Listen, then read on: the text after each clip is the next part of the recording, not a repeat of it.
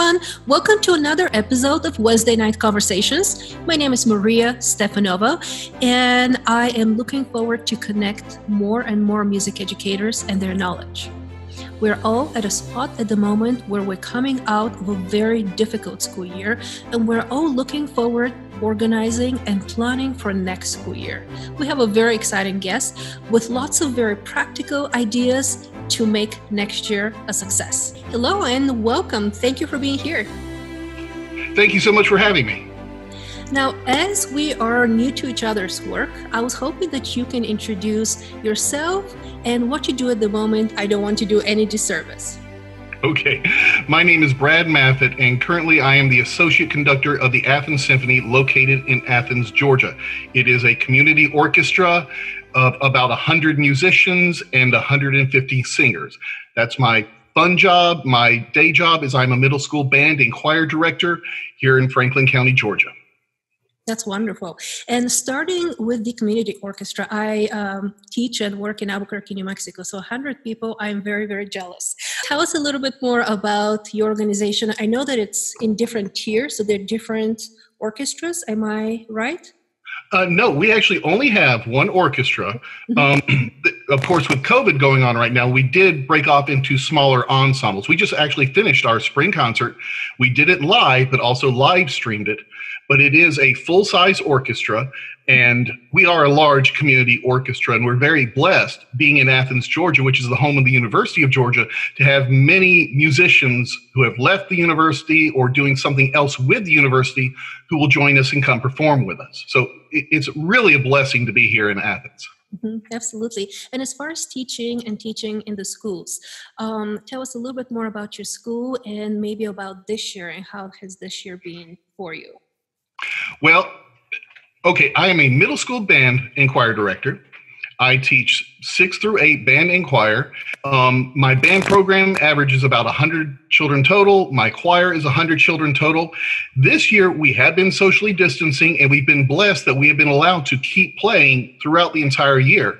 And we're in a very rural area of Georgia. We're in the northeast section and we've our covid has not been spiking very high so we've been in person the entire school year. So i was actually speaking to the kids today about how blessed we are because other public schools may have started doing band course a few weeks ago because they finally got the green light.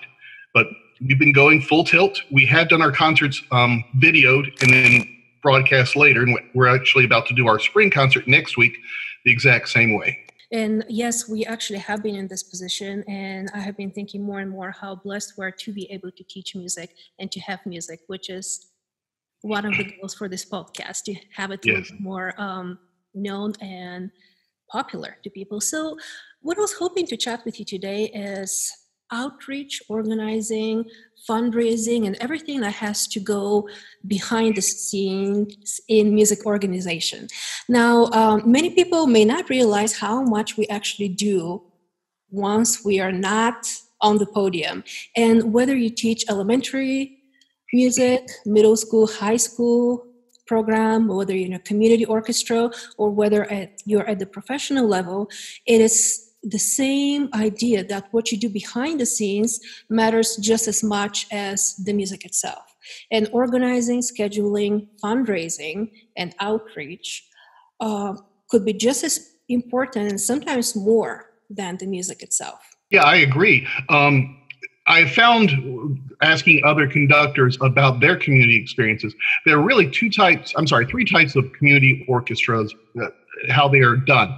One is the conductor is just completely in charge. It's the conductor's baby. They say, oh, okay, we're going to do this, and he's in charge of fundraising. She's in charge of uh, making sure everyone's there and attendance and all that stuff. Then there is the board.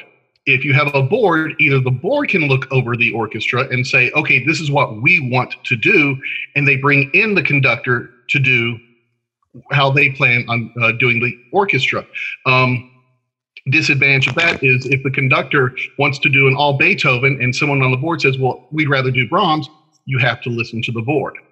Lucky me, with the Athens Symphony, our founder, Albert Ligotti, who uh, started this 47 years ago, wrote the bylaws so that the conductor was in charge, and the board's job is to raise money and raise the public awareness. So the conductor really doesn't do too much fundraising. The board does that.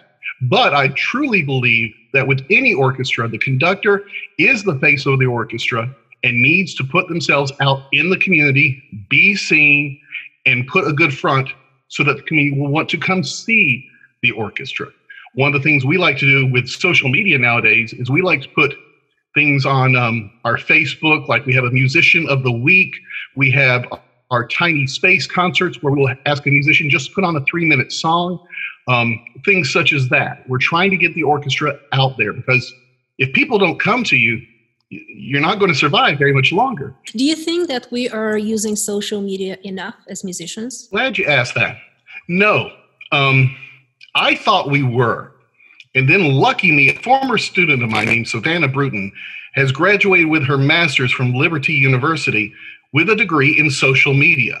And she's looking for organizations to help out so she can build up her portfolio. And she volunteered to help us. And I sat down with her two weeks ago and I was just blown away at the amount of things that you can do in social media to keep your name out there. Um, I have another friend who's our concert master, uh, Serena, who is on Instagram all the time promoting what she is doing. And that's what I think we as musicians have to do because we are our own product. We have to get it out there where the public can see it. Yes. Let's talk a little bit more about social media and what exactly you do in your classroom. Um, yeah, I was speaking with my uh, middle school students just the other day that we have an Instagram account. And they're like, oh, we have a band Instagram account. And I'm like, yes, we do. And I realized being a teacher, I have to do everything in the world, but I don't have time for social media and I'm not savvy at it. So I put it on my iPad and I'm allowing them to take pictures of themselves having fun in the classroom and put it on social media. That way they have an investment in it and they can t- they'll share that with their friends. Look what i did in band and help promote the middle school band. Mm-hmm. exactly. And that actually led to my next question i was hoping to ask. How do you train your students to be helpful with the program and also with the community orchestra? How do you develop that communication with board members and the larger members of the community with what you would like them to do for the community of the orchestra or the community of the mid school orchestra? Well, you say, how did I train my students? I think my students trained me. Um, for example, when we were talking about Snapchat just the other day, I have a Snapchat, but it's only to keep up with my children who are on Snapchat. And so my students had to show me how to do the Bitmoji, how to make myself look good, all this other stuff. So I don't really train them, they train me. But when they train me, I say, hey, couldn't we also do this with it? Something they might not think of. Now, as far as the orchestra goes, I'm really amazed, especially with the Athens Symphony, how many people really want to be seen. When um, when COVID hit, we started our tiny space concert, and we were our goal was to put one up every week. And at one point, we had a six week waiting list for people who wanted to perform. And all I have to do is perform, and someone will pick up an instrument and play it. You just have to ask. Um, if you sit back and wait, they're going to assume, hey, he's got enough, we're fine. But you have to get out there and ask. You have to promote them. And, and that's what I'm hoping Savannah will be able to do with us. Mm-hmm. Your thoughts on recruiting? Recruitment time for me at the middle school is like the major league draft. I really live for it. I enjoy it. I, I enjoy speaking to the kids and trying to invite them into my program. The problem is, of course, with this year, I can't meet with the kids as individually as we have in past years. Um, we use the program Google Classroom at my school to give the kids assignments, to communicate with them. And through that, we can also access every student's email in the school system. So I came up with the idea why not create a Google cl- Classroom for my band, for my chorus, and send out invites to the fifth graders?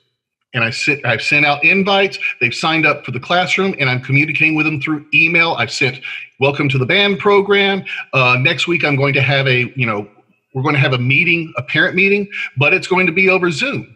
And the great thing about that is, of course, in Zoom, they can type their little comments, their questions, and I can just look over to the side and address it. And that way, people aren't raising their hand asking the same question. Mm-hmm. Mm-hmm. That's a great idea. And also for next year, we all know that we'll have to do quite a bit of rebuilding of our programs. Um, and this episode may come in the summer, so people may be watching it during the summer. So, what would be some ideas or some tips you could give middle school band directors or orchestra and choir directors for a, I don't want to say regular school year, but let's just call it that? Okay, I've got a secret weapon that I discovered this year. There is a program called Cameo.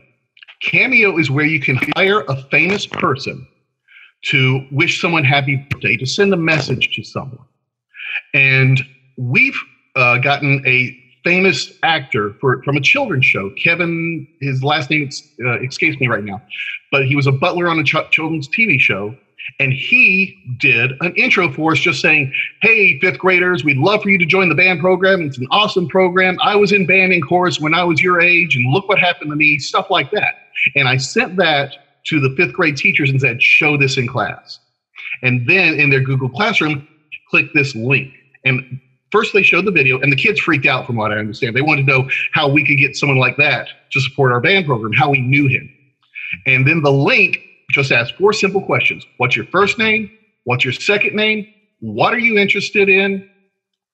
And, or in what school do you go to?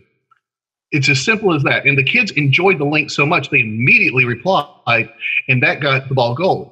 Also, um, our high school band took their drum line to all the elementary schools, walked around playing, and got the kids really motivated to do that. And that's one of the things I really think has to happen. You have to do concerts for those middle schoolers, but do something that's fun and exciting. Don't just go and play the nice little Bach piece for a high school band. Play a drumline piece, play a pep band piece, play something that gets them excited about being in band. Mm-hmm. Is there orchestra at your school or is it just choir and band? It is just choir and band. I see.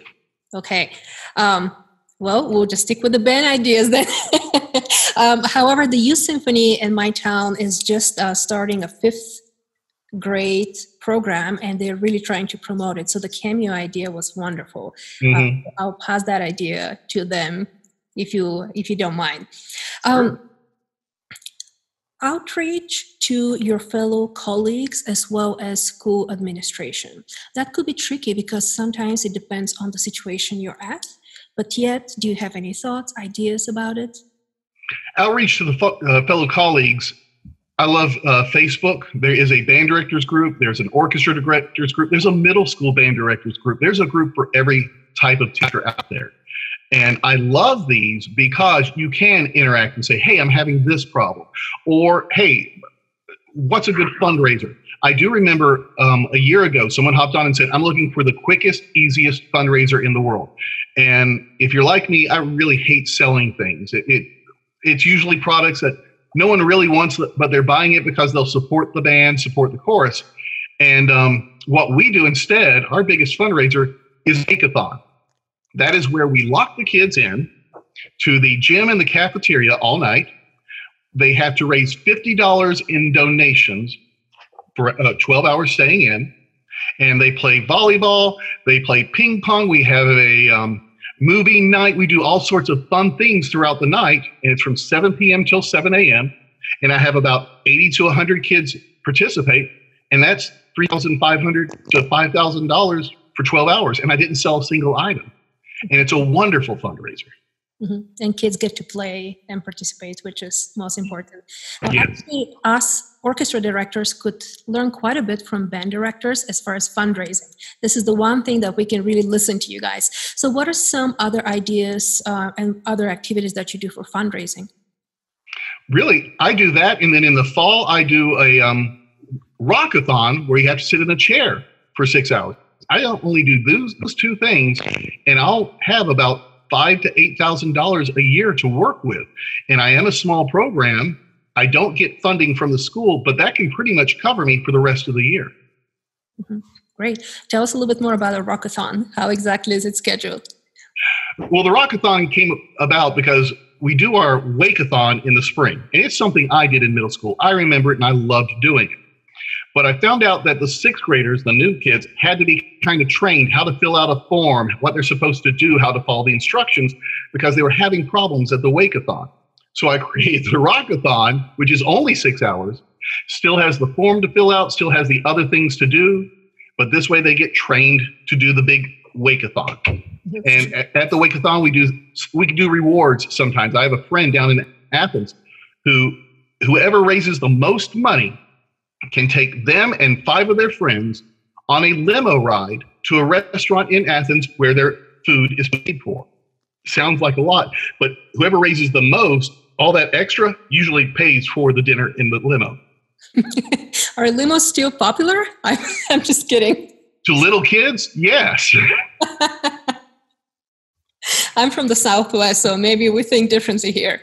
Um, so, what if a brand new orchestra or band director was watching and they're not quite sure how to organize those events? Walk us a little bit more, just step by step. What are the forms? What do the kids do? What do they play? How is it scheduled?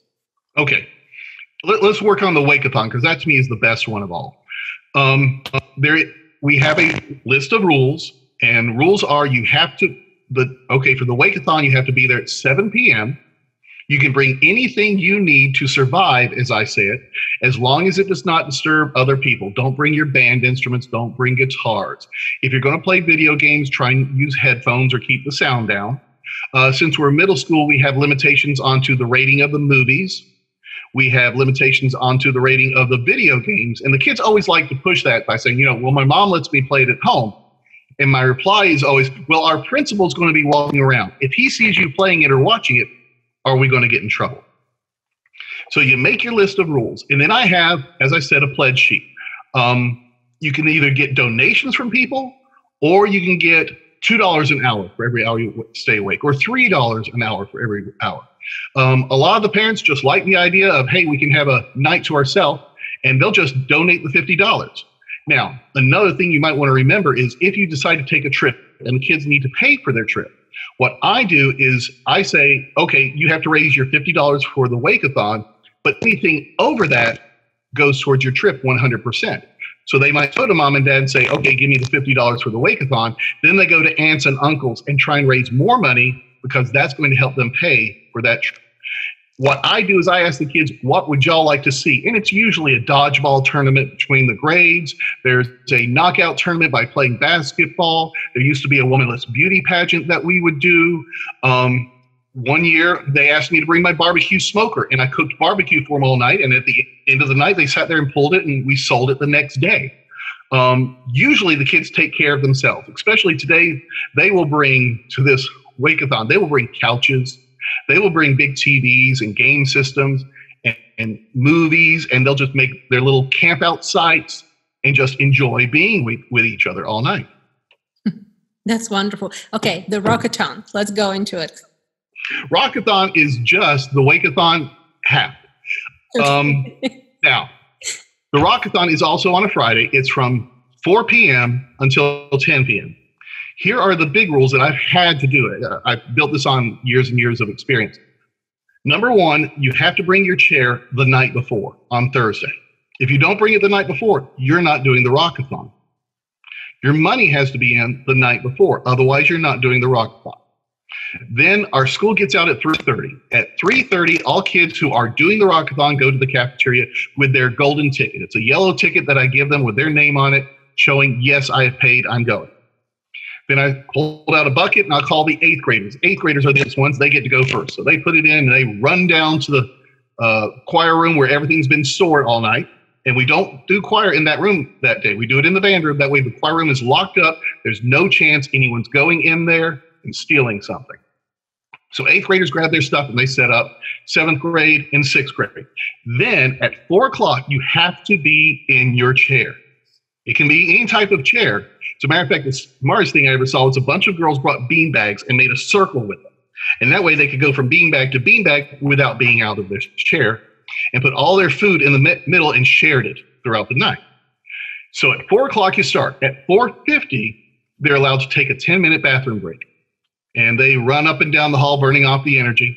Then at five o'clock, we start it again. And it's a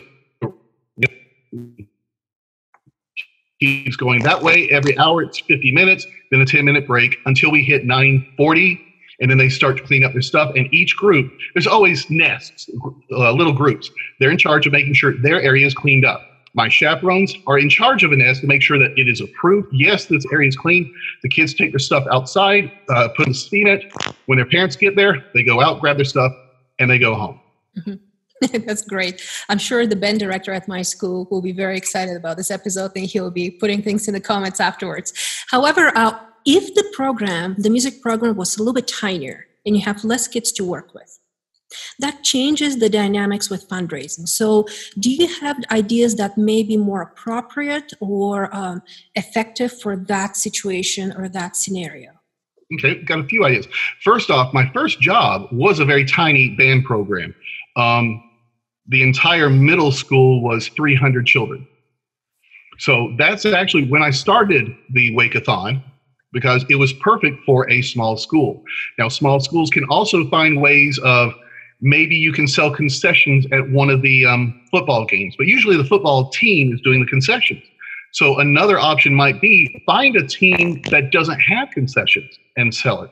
For example, at our school, we've got cross country team that doesn't sell concessions. And I've thought about for years the one home game they have, what if we sold something? Because there's about five to 600 people there and it's supper time, and I'm sure they'd like to eat. That's one option. What if you did things for donations? What if you went out and played at the local retirement center and they gave you a love offering, a donation? Um, at our concerts, we don't charge for concerts, but we would put a bucket at the door. And if you have a don't want to give a donation, we'd love to accept it. Um, little things like that, but also not only just raising money, but uh, the public awareness. I remember one time at that small school, at the beginning of the marching season, the um, football field was a mile from the school. And we weren't marching too well that year. So I decided we need some extra practice. So we decided to march to the game. Well, halfway to the game was this restaurant. It's in Social Circle, Georgia, called the Blue Willow Inn. And it's known for its antebellum Southern cuisine. And we stopped there and decided to play a concert for everyone who was inside. Once the concert was over, they brought out free lemonade to my kids. We hung out and then walked on the rest of the way. We now did that every home game from then on just to get ourselves out there. And from that, people would say, "Hey, can you come play this event? We'll, we'll you know, we'll give you a $500 donation." Mm-hmm. That's wonderful. Are there any fundraisers that you have tried and they just have not worked out and you do not recommend it?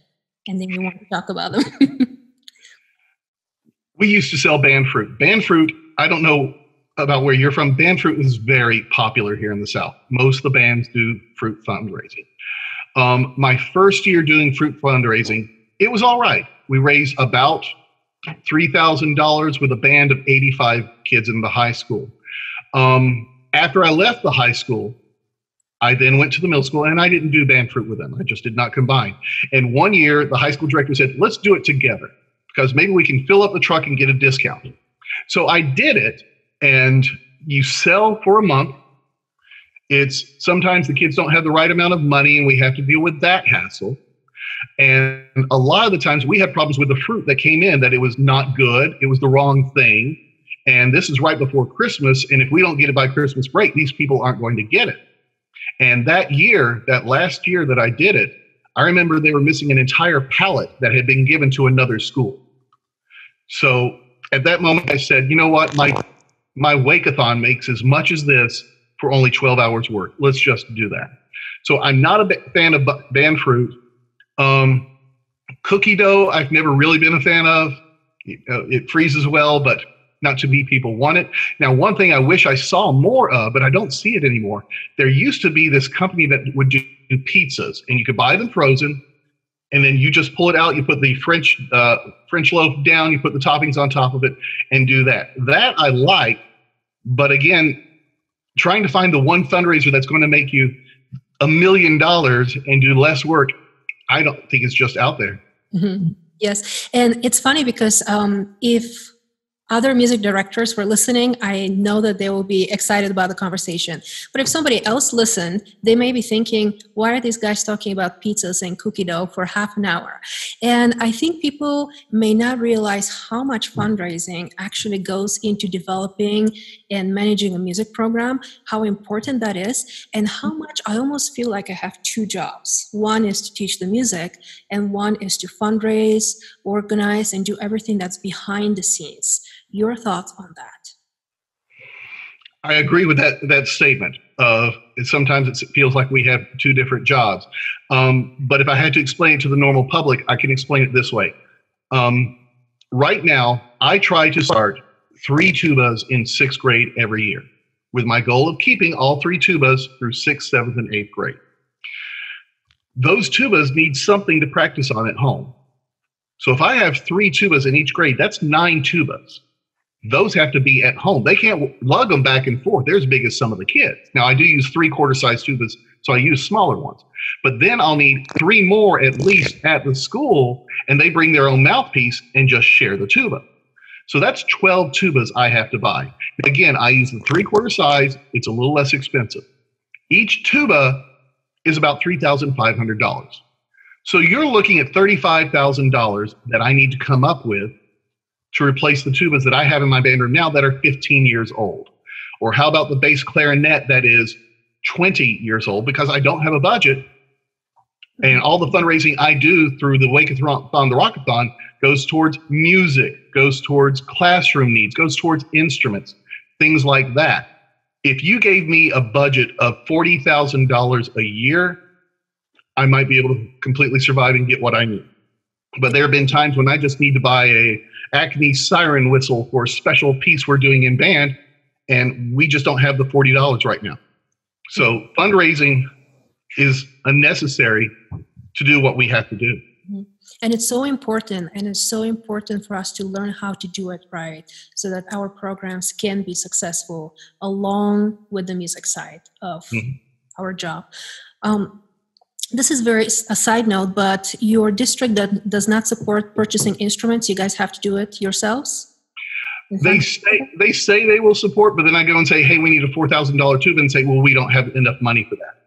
Now, I am lucky. I did go to my uh, principal just the other day and I said, you know, our tubas are 15 years old. And there's something called SPLOST, e-SPLOST, which is a penny sales tax that goes back towards education. And the most recent SPLOST is supposed to help the fine arts. So he said the money should be there for those tubas. Let's apply for it. Let's see what we can do. So it does happen once in a while, but it's not, it's, it's tooth and nail. We have to fight for it, but I think everyone in every school has to fight for everything. The baseball team has to fight to make sure they have enough materials also. I see. Absolutely. I was hoping to ask you next about your ideas about grading and assessment for music programs. Okay. Especially with my band, there's something I found years ago that I love. It's a card they have eight and a half by 11, but it's on card stock. On one side is a practice card. Now, I know what every band director and orchestra director is going to say. The kids are going to lie on the practice card. I've got a solution to that. Hold on. On the back side is what I call pass-ons. Our, um, right now, we are on the trimester, which is uh, 12 weeks. And I give the kids eight assignments they have to do supposedly every week. If they don't do it every week, that's fine, but they have to complete all eight by the end of the trimester. So, in other words, instead of saying, hey, next week we're going to have a playing test on this, now the kids know what they have to do in advance and they can pass them all off. And if they pass them all off, they like to go to a practice room and practice other music together. And do that every Wednesday. The practice card with pass offs is due every Wednesday. Uh, the pass offs, some of them are very easy. Show me that your notebook is in shape. Tell me the order of flats. Uh, I'm going to do an instrument inspection. Let me make sure your instrument has been cleaned. Um, but then I push other things. For example, the eighth graders, one of their pass off is they have to do four major scales F, B flat, E flat, A flat without mistakes, and then a one octave chromatic, also without a mistake. That's one pass off. And then I'll choose something out of their book, especially rudiments for the percussion for them to do. Now, practice card. I learned the hard way that kids are going to lie on a practice card. They're just going to say, Yes, I practiced two and a half hours when they actually practiced five. So I found a way around that. Instead of saying, if you practice one and a half hours or two hours this week, you get 100. And then it slowly goes down depending on how much you practice. I say this if your parent signs your practice card and you have written down how many minutes you practice, you get 100. If you practice zero minutes, but your parents sign it, you get 100. Because the goal is not to, the overall goal of a practice card is not to uh, make sure they're practicing. Well, it is. But this is my way of finding out when I sit down with a parent and they say, hey, Johnny's failing band. Why is he failing band? I can pull up the practice card and say, Well, he hasn't practiced at all this trimester. So it's just creating a record. We can have a conversation. One time I had a student who was in a fall sport, and when it was time to get the band instrument, they were practicing five minutes a week, 10 minutes a week because they were just too busy. And parents came to me and said, why, why, are, why is my child having issues? And I showed every other kid's practicing two to two and a half hours a week. Your child is practicing five minutes a night. That's where the issue is. And that way it's something measurable the parents can see. And that's the other reason I like pass offs. It's something measurable. How is your child doing? We're, and I'll send out on a reminder. On the remind app. We've now finished our fifth pass off. Has your child done five pass offs? That way they are also finding their child accountable. Brad, thank you so much. Your ideas have been very practical, which we all love as music educators. Um, and I'm really, really appreciative of that. Last question, not so practical maybe. What do you do for stress as a music educator? And also this year, has it helped you think differently about music in any way? We may have touched on those ideas at the very beginning of the conversation, but still, your thoughts. Let's see. The second question was the, the COVID um, music has it changed me? It really has. I've always loved music, but I didn't realize I didn't realize how much music is really about me and other people. There are people who can sit there and practice their solo instrument and be fine and happy and dandy. I'm not one of those people. I have to be in an ensemble. That's what I enjoy doing. So when we couldn't have ensembles, I became kind of an emotional wreck. I had problems uh, went into a small depression just because I wasn't around people doing what I love to do. So we, I tried to find other ways of doing that. And, and by do, what I did is when I started the Tiny Space concerts, I was interacting with musicians. I put together a quartet and say, okay, let's play this together. And it was my way of doing an outlet. And because music is really about the interaction between two, not just what I think of my playing. And I'm sorry, what was the first question again? Actually, your second question was answered beautifully, and I think we can pause there. Um, talking about music being interactive and interaction between two people. I've really, really enjoyed this conversation. Thank you so much for being here. Any last tips or ideas that I may have missed and you may want to share with different music educators? Don't give up. Don't ever give up. There are going to be times when you think you are the worst teacher in the world you're not. We've all been there. When a kid's not doing well and you want to pull them aside, that's the right thing to, do. That's what we do as educators. We're here for the kids. We're not here to show off for ourselves. We are here for the kids. Brad, thank you. No problem.